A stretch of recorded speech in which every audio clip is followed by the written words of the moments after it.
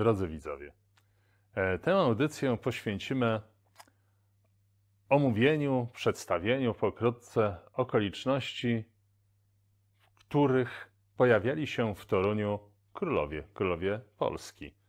E, było ich tu co nieco, niektórzy nawet sporo czasu spędzili w mieście Kopernika. Niektórzy zatrzymali się na przykład w tym przybytku, takiej gospodzie, obecnie hotelu Trzy Korony, e, gdzie między innymi e, funkcjonowała choćby e, małżonka jednego z królów. To jedna z tych trzech koron. Ale Adrem. Pierwszym królem Polski, który pojawił się w Toruniu, był Kazimierz Wielki. Wszystko to krótko po zawarciu traktatu pokojowego, wieczystego pokoju w Kaliszu, w lipcu 1343 roku. E, król przebywał w Toruniu kilka dni, ucztował, rozmawiał, no pełna kurtuazja, no bo to nie, nie było powodu, w tym momencie nie było otwartego powodu do jakiejś rywalizacji i swar. Być może wysłuchał po raz pierwszy, jako pierwszy polski król, a muzyki organowej w czasie obecności we mszy w kościele pod wezwaniem Najświętszej Marii Panny w Toruniu. Być może to również tu, e, kiedy kierował się w stronę e, kościoła, doszło do incydentu z pomyjami, które jedna z mieszczek wylała gdzieś tam w okolice obecności monarchy, a pod jego nogi, ale nie na niego oczywiście samego.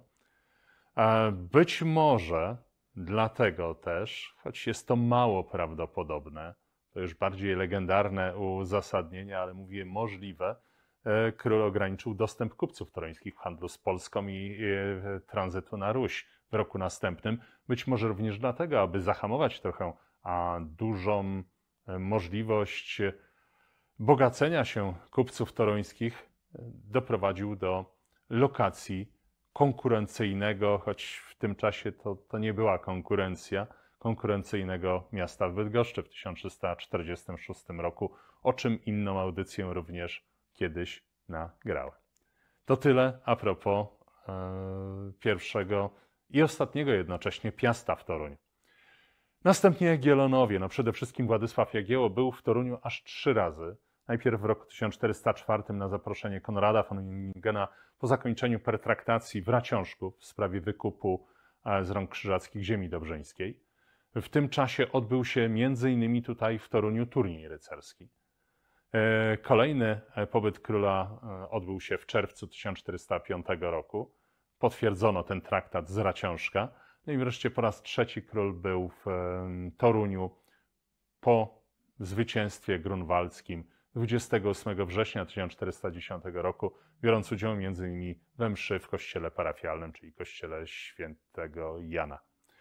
Następnym władcą, który bywał w Toruniu najczęściej i najdłużej, był Kazimierz Jagiellończyk. Łącznie czasy jego 16 pobytów w Toruniu opiewają na około 14 miesięcy. Bardzo długo. Taka może nieformalna stolica E, koronę Królestwa Polskiego z przymrużeniem oka. Oczywiście było to związane przede wszystkim z wojną trzynastoletnią. Oto najważniejsze e, powody przybycia monarchy do Torunia. E, odebranie hołdu mieszczan oraz rycerstwa ziemi chełmińskiej w maju 1454 roku, a później zawieranie E, drugiego pokoju toruńskiego w październiku 1466, czy przywileje ustanowieniu w Toruniu trzech wielkich dorocznych jarmarków. E, kolejnym władcą, który przebywał w Toruniu i zakończył to swoje życie, był najstarszy, no nie najstarszy, ale syn e, Kazimierza Jagiellończyka, Jan Olbracht. Przebywał łącznie trzy razy jako monarcha, co dało łącznie sześć miesięcy, około pół roku a w 1494 roku przybył m.in. ze swoim wychowawcą, preceptorem Filipem Buonacorsim Kalimachem. Ponowny pobyt w roku następnym i wreszcie ten feralny 1501, gdzie doznał e, śmierci 17 czerwca 1501 roku w sali królewskiej ratusza stanu miejskiego. Jego serce zostało po zabalsamowaniu, aby przewieźć zwłoki do Krakowa, wmurowane w jeden z filarów kościoła świętych Janów. Upamiętnieniem pobytów monarchów e, w Toruniu jest poczet królów polskich, taki oryginalny poczet toruński, e, który umieszczony jest e, w ratuszu Starego Miasta. No i upamiętniano właśnie nie tylko tych władców, którzy byli, ale również innych, którzy Polską rządzili. Ostatni Jagiellonowie to Aleksander Jagiellończyk, który był raz Zygmunt Stary, który był łącznie 13 miesięcy w związku między nim z Sejmem e, Toruńskim oraz e, wojną z Krzyżakami.